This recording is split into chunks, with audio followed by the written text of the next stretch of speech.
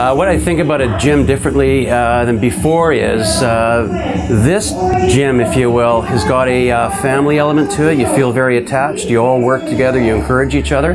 My perception of a gym is you're on your own. You're kind of working independently, and uh, here there's no judgment. Uh, there's no competition other than just sort of pushing each other to do more.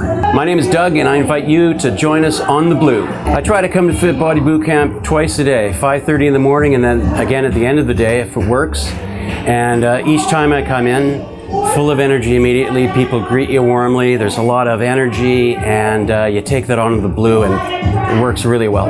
It's like another family. Uh, it's like you've got a second family. Everyone high fives you. Everyone asks how you're doing.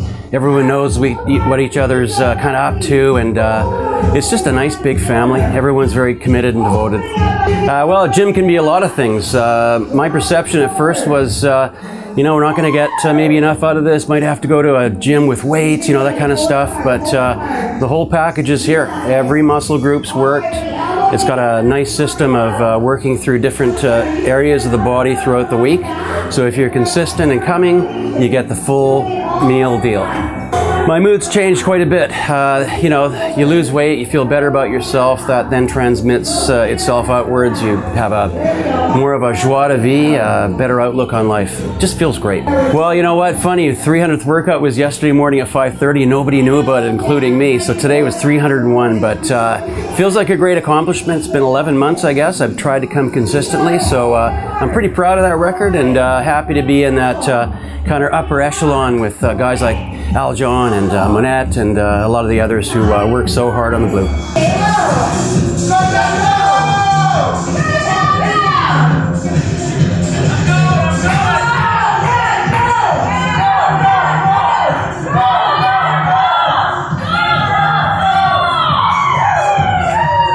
Hi, my name's Doug. I invite you to join us on the blue at Fit Body Bootcamp Tuxedo and do the 21 day challenge and come and get fit.